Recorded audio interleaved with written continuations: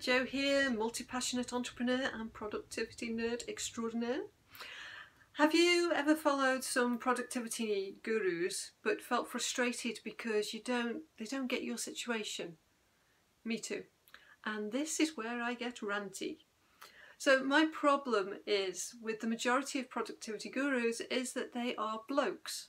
Not their fault, but it also means that they're not mums, obviously. And maybe they're dads and maybe they're great dads, but you and me both know that is not the same thing. And their really useful advice usually goes along the lines of get a babysitter, get up an hour earlier before the kids and get some work in. Hello? Getting a babysitter isn't actually that easy.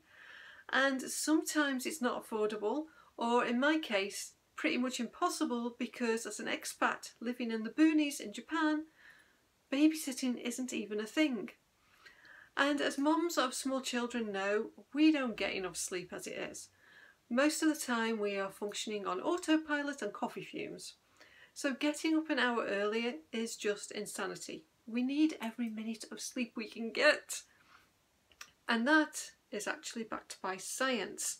There have also been studies to show that women actually need more sleep than men.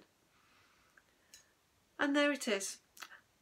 And there's also the hustle, hustle, hustle mentality, which is just not healthy.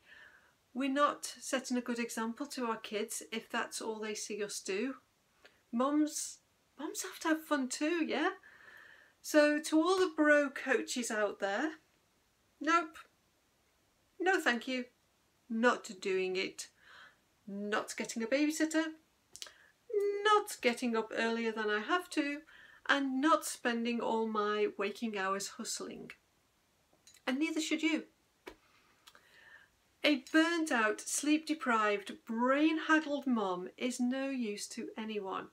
So whenever I create anything, it's always with moms in mind.